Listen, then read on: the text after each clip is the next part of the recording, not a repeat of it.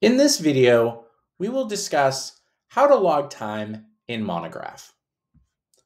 To start, we'll navigate to the Time section and choose the Timesheet option. If we have yet to log time, you will see a blank page like this. Now to start, we're going to want to search for the project and phase that we'd like to log our time to. Now that the project and phase has been chosen, our next step is to log time to an activity. Now, if I click on the dropdown, I will see the activities that I have set up in my settings. I'm going to choose administration, and to the cell to the right, I'm going to start logging my hours with four.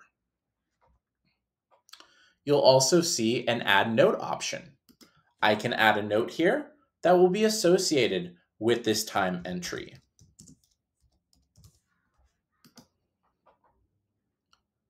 Now, if you want to log time to multiple activities, you can do this here. I can go ahead and click the plus button and choose basic services. And I can add another four there. Now, Let's say you want to log time to overhead rather than an activity. We'd come up here to the add overhead option, click on the drop down and choose one of our overhead categories. In this case, I will choose weekly kickoff. And in the cell provided, I'm going to go ahead and add one. Now I've added an overhead entry to the list. Now scrolling up, if you have enabled time off for your firm, you will see a request time off option. This is going to take us to our time off portal where you can request time off.